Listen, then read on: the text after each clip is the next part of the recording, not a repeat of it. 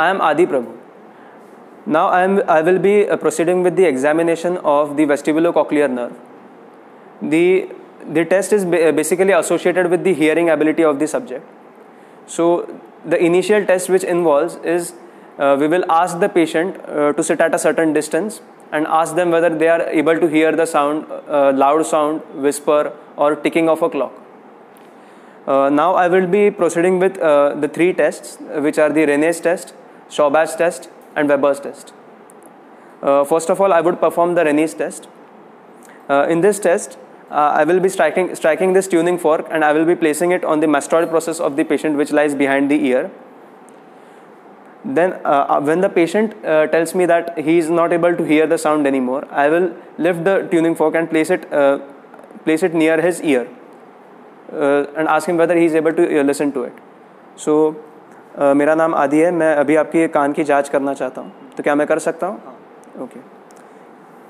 तो मैं अभी ये आपके कान पे रखूँगा यहाँ पे। और आपको कोई झंझनाहट महसूस होती है तो वो आपको महसूस करनी है और कब बंद हो जाती है वो मुझे बताना है। उसके बाद मैं आपके कान के पास लूँगा और कान के पास जब आपको आवाज़ सुनाई देना बंद हो जाए तब आपको वो भी बताना है ठीक?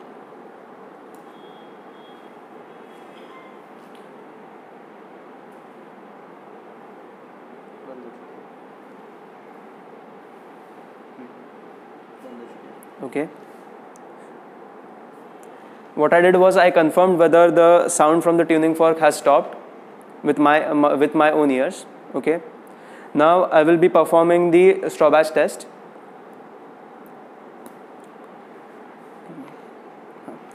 अभी मैं आपके आ, कान के पीछे वैसे ही आ, ट्यूनिंग फॉर्क रखने वाला हूँ आपको बताना है कि आवाज़ कब बंद हो जाती है ठीक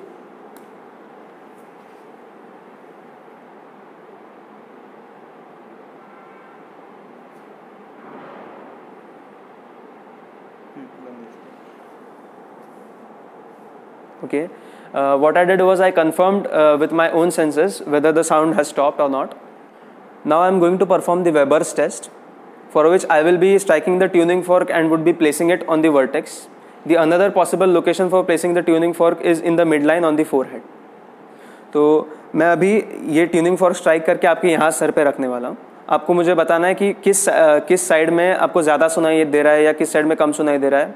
और या इक्वल सुनाई दे रहा है तो इक्वल सुनाई दे रहा है बोलना।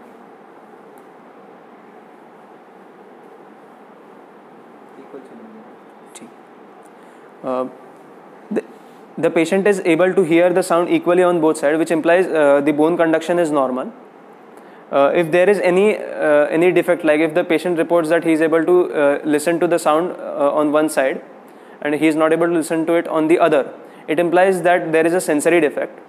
Uh, if the sound on one side is louder, in such case uh, there is a condu- air conduction defect.